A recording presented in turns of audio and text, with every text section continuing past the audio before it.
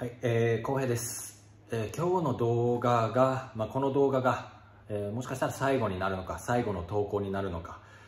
えー、それはちょっと今僕自身もわ、えー、からないです、はい、もうこの動画の、ね、タイトルとかも、まあ、撮る前に、え、決めてるわけではないのでもしかしたら最後の投稿になるかもとかいうタイトルにしてるかもしれません、うん、まあ昨日ね、まあ、ちょっと感情を言うと、まあ、昨日動画アップしてうんまあちょっと一晩寝て、もうちょっと YouTube、あの、寝る前はね、もう、今日、もう次出す動画で最後にしようかなとか、ちょっとそういう思いもあったんですけれども、まあ一晩寝て、まあやめることもないのかなとかいう思いも、えー、出たりとかもしたんで、うん、まあちょっと YouTube に関してはね、えー、一番、この動画の一番最後に、えー、言いたいと思います。まあ今までやってきた、こういった思いで、まあ、やってきたんですけど、まあ、デモっていうことをね、まあ、もしかしたらこれちょっと日本長くなって2本撮りにして2本目に出してるかそれは分かりませんけれども、まあ、最後に言いたいと思います。で、えー、今日の動画はね一応ここまで話してきた流れ、まあ、一応このこのまま更新しないでおこうとか、えー、そういう選択肢もあったんですけれども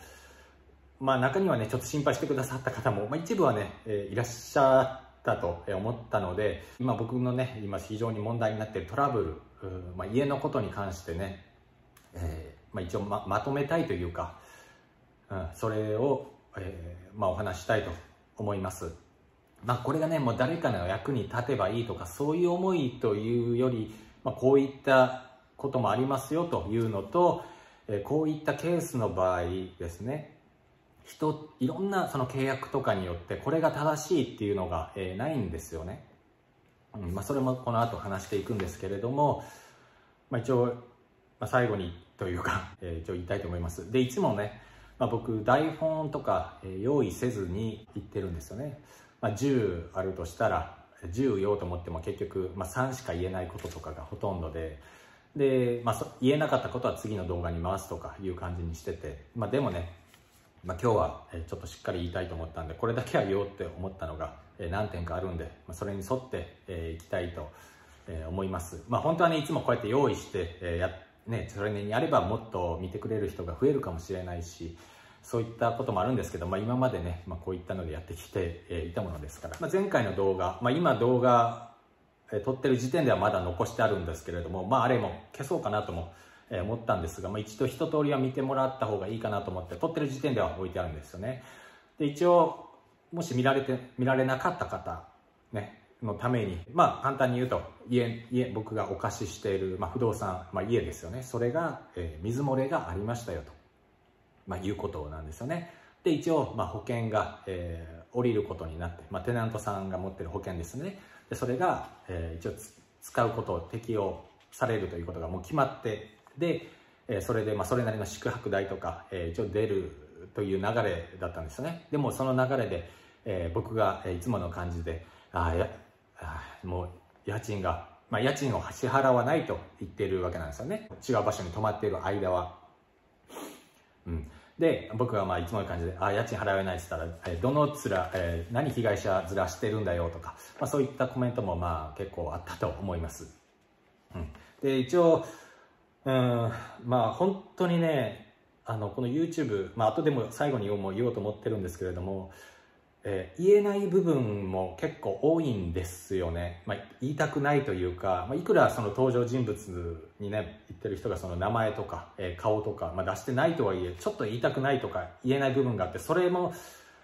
えー、ちょっとあって難しいんですよね。うん。でも、まあ、ちょっと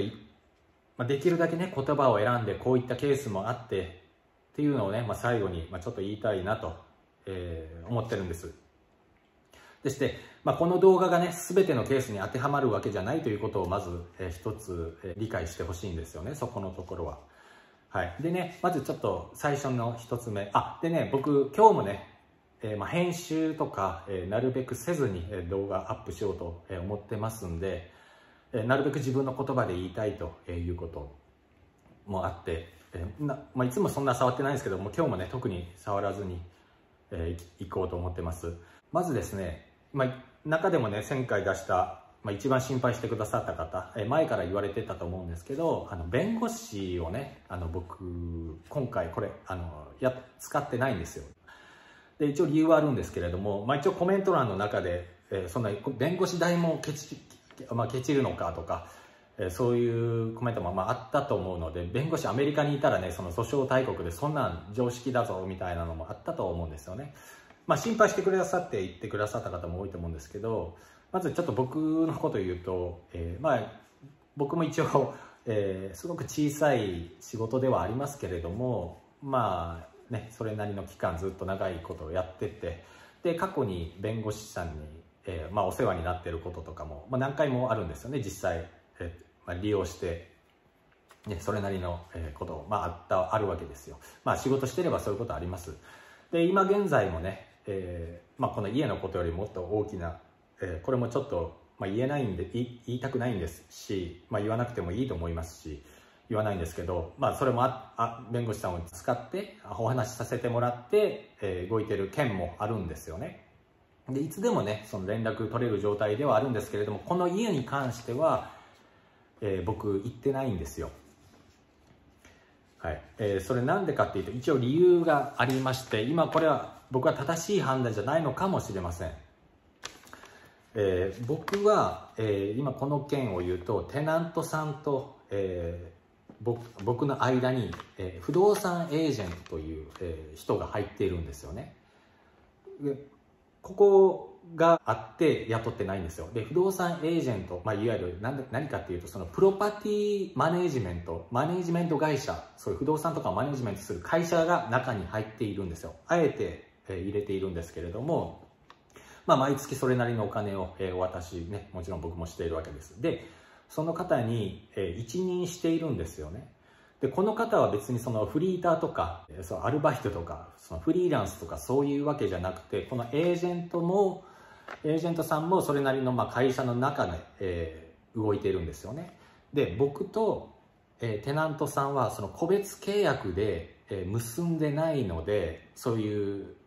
ちょっと感情で喋れないといいますかテナントさんが僕に、えオーナーの僕に連絡来るということは、えまずないんですよねエージェントが作ったプロパティマネジメントに沿った、一応契約書があって、そこと、えまあ、まずテナントさんですよね。そこがまあ契約一つあってで僕はエージェントと、まあ、オーナー僕その中で動いていると。で僕はお金をそのもらうのも、まあ、エージェントからお金を頂いて入ってきているという、まあ、状況なんです、まあ、こういった流れがあるわけです。でここの中に入っている、えー、まあ、不動産エージェントマネジメント家をマネジメントしてる人なんですけどもちろんね、そのほったらかしにしているわけではなくて、えここもこの人が毎日それなりにいい方向にいい方向に行って、えまあ、これでもね一応まあ、動いてくれてるのは僕も知ってますし一応努力というかかいい方向にはこの最悪な中でも向かっているんですよね。でおそらく、まあ、これはコメント欄でも一つしかなかったのかな。ここにも、まあ、多分弁護士みたいなそのエージェントさんですよね。まあ大きい、まあ、それなりに大きい会社でしょうしまあその僕の家だけを管理してるわけではなくてもう何十個も多分あると思うんですよね。僕だけのタウンハウスじゃなくていろんなところを管理してる一つであってそれなりのね、まあ、弁護士とかもいるでしょうしそれに基づいて言ってるかもしれないし今エージェントと、えー、そのテナントがその喋っているところで僕が、えー、今言った入らない方がいいのかなという判断で僕たちは、えー、入ってないんですよ。でその流れで動い契約の中で動いているのに入今このタイミングで入っていいものなのかというところです。まあ入れるでしょうけれども今こうその段階によって契約に沿ってえ喋っているところですんで、うん、でこれでこれが理由で、えー、まずエージェントあの僕が弁護士を今のところ使ってないとは使ってないというのはそういった理由、えー、なんです入ると余計に、えー、ちょっとややこしくなるかなという思いもあったものですからえー、というのがまず1点なんですよね。で、2点目に、えー、保険、えー、ですね。えー、これもね、ちょっと言えるところがもうあんまりないし、えー、言いたくもないんですよね。で、えー、一応ね、うん、まあでも、うん、まあよ、あのね、まあ、こういうことなんですよね。えいわゆる、まあ、その水漏れが起きましたよという時点で、僕は、まずここから言った方がいいと思うんですよね。僕はその水漏れが起きた時点で、僕の保険会社に、えまず連絡を、えしたわけです。うん、修理期間、まあ、それなりにはかかるだろうなという思いも、えあったものですから、えすぐ連絡して、まあ、家賃も、まあ、家賃入らないことも、え想定は、えしていました。僕が最初に保険会社に聞いた、えここなんですけれども、流れではこういうことなんですよ。あの、レンターズ保険、あの、家を借りてるテナントも保険に、いわゆる、まあ、入らないといけないというか、まあ、入っているんですよね。まあ、こういった時のために。うん、で、僕の保険を使うことも全然できるんですけれども、で、最初に連絡を、僕の、えー、連絡を保険会社から受けたのは、こういったことだったんですよ。まあ、それなりにカバーできると、まあ、ポリシーとか、まあ、それに沿っていくんですけれども、それなりにカバーいろいろできるということだったんですけれども、ここに関しては、えー、まあ、テナント、テナン入っている人がですね、自分で、えー、まあ、勝手にとかじゃないでしょうけれども、まあ、サクサク進めたんですよね。自分の持ってる保険会社で。うん。進めちゃったということで、で、もう金額もね、それなりに入っているみたいです。えある程度ね、僕も、えちょっと聞いたん、ちょっと耳に入ったんですけれども、えその金額もね、具体的な金額言おうと、え思わないですし、えそんなね、あの小さい金額とかではないんですよね。で、今僕はそれをもらったから、えあの前回のね、動画で、ああ、いやあ家賃払ってもらえないのかとか言っていうような感じで、出したと思うんですけれども最初に僕が保険会社から聞いた話ですよ。でこれは全員が当てはまるわけでないしアメリカだけというわけでもないしロサンゼルスだけというわけでもない、タウンハウスだけとかいう問題でもないですケースバイケースで10人いたら10人いろいろやり方があるんで一概には言えないんですけどこうやって言われたんですよ。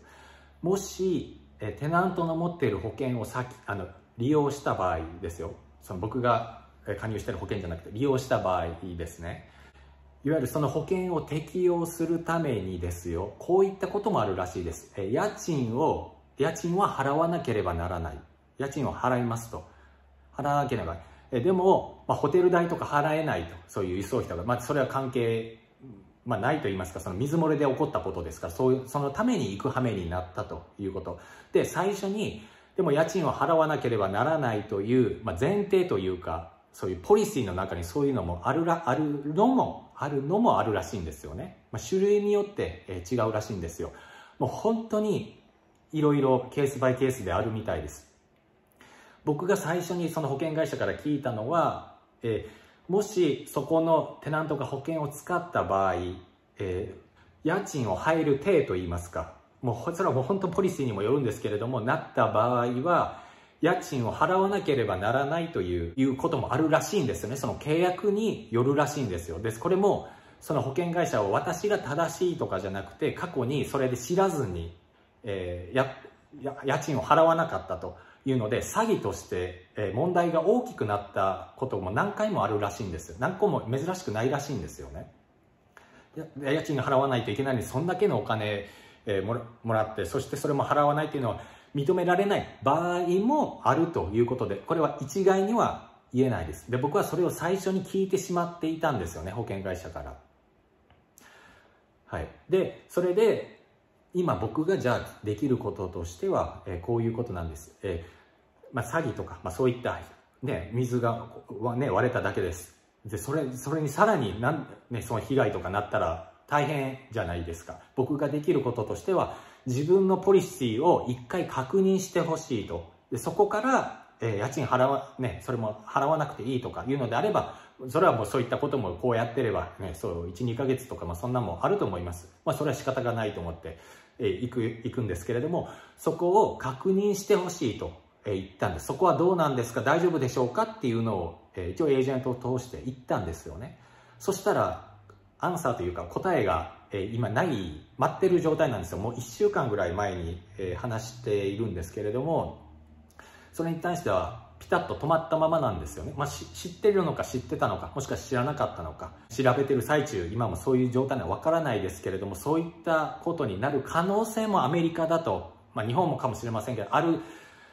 その保険会社曰くあると言われたんで僕はもうそれを伝えることしか今はできなくてそれを待っている、えー、状態、えー、なんですよねで、えー、次にですねもう一つ言うと、えー、まあ遅い、まあ、僕ね今回の対応すごい遅いとか、まあ、結構大丈夫なのとか、まあ、心配してくれって言ってる人も、えー、いると思うんですけれども、えー、一つ厄介なところがありましてえー、僕が貸してるのはタウンハウスなんですよね。あの自分で、まあ、今回の場合特になんですけれども修理さっと自分のところで直して、えー、やるっていうのが余計おも傷口を問題を広げる法的に広がることもあるらしいんですよね。その直し直し方とかの問題じゃじゃなくて直す部分が競なんていうの競合されてると、まあ、いわゆる集合家の集合体なわけですよ。まあ、これが今ここ今まで喋ってきた問題の一つなんですけど家の構造にも被害があるかもしれないということなんですよね家の構造ですんでそこまで自分が直すとどうして触ったんだということで僕が今度問題になることもあるんですよね。というのは過去にそれではないんですけれどもちょっと家の外側を自分のとこで修理したことがあったんですよね。でそれであそれそれなどうしてやったんだっていうふうに言われたことがあったんでそれ以来、えー、そう簡単にその直せないというか、まあ、家のことで中であればねそれもいけるんですけど今回はだいぶ前から話している通り構造にも、えー、被害がどうなのかっていうところですんでそれでやれてないという状況なんです。はい、えー、一応ね、まあ、動画を、まあ、まとめて、まあ、最後にねあの、まあ、言いたいのはまあ、こういった保険金大きな保険金が動く時っていうのは本当にちょっと一個ずつ契約書に沿って、まあ、ポリシーですよね。その保険会社のポリシーに沿ってどこまでカバーされているのか、ここまでがカバーされているとか、一つずつ見て、もう僕らも、えー、マネジメント会社ももう行くしか、えー、ないんですよね。まあ、今、今やっている最中、えー、なんですけれども、うん。まあ、すごいその大事なこと、後々、えー、知らずに、えー、お金のそのやり取りで知らずに、まあ、大きな問題になって、まあ、詐欺罪とか、もしくは僕もね、これを知らずにこういうお金のやり取りをしたとかで、まあ、共犯とか怖いと言葉を言うとそういうことになる可能性もあるかもしれないから、一個ずつやっていくしか、えー、ないんですよね。はい。まあね、僕も聞いた話では、えー、世の中にはこういう人も、えー、いるらしくて、例えば火災保険とかだと、ね、例えばレストランとか、なんか本当の話か嘘か知りませんけれども、まあ、キッチンから、キッチンにあえて、えー、そういう、まあ、火をバーッと